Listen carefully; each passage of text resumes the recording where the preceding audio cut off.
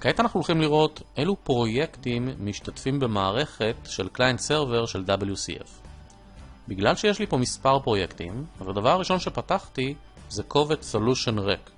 זה מאפשר לי להגדיר תיקייה שבתוכה יהיו כל הפרויקטים, וקובץ SLN ששולט על כל הפרויקטים. אם אני לוחץ עליו double click, הוא אמור לפתוח לי את כל הפרויקטים ב-Visual Studio בבת אחת, מפני שכל הפרויקטים השונים האלה קשורים לאותה מערכת, והמערכת הזאת היא נבנית ב-WCF. הדבר הראשון שאני מוסיף לסולושן זה פרויקט חדש ואני מוסיף New Project. הפרויקט הראשון, כמו שראינו בווידאו הקודם, Class Library מייצרת לי DLL.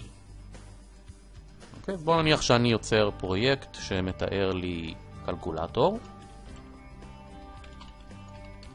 ואני כותב קלקולטור Library וזה השם של ה-DLL שהוא בעצם ה service שלי. עכשיו, המערכת יצרה לי פרויקט DLL, אני רואה שיש לי class אחת. הדבר הראשון שאני עושה, אני משנה את ה class הזאת ל interface. בואו נקרא ל interface הזה ICalculator. נשנה את השם ל-ICalculator גם בקוד, ומ class נשנה ל interface. מה הסיבה? כאשר יש לנו שירות ב-WCF, נכון להגדיר את השירות הזה על ידי interface שחושף את הפונקציות של השירות. כך שכל מי שרוצה להשתמש בשירות יכול לקבל את ה interface הזה ולראות מה הפונקציות שהשירות מפרסם.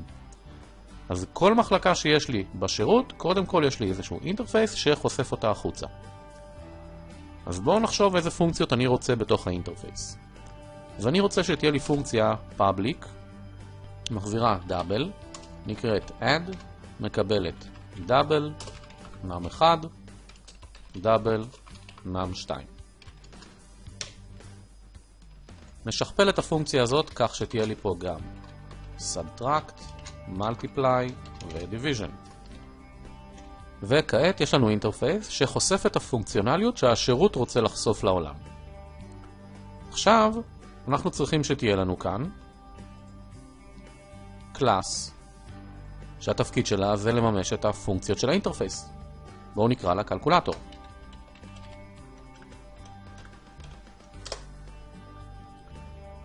ה class הזאת צריכה להיות public, בכדי להיחשף מחוץ ל-DLL, וכמובן צריכה לממש את האינטרפייס iCalculator.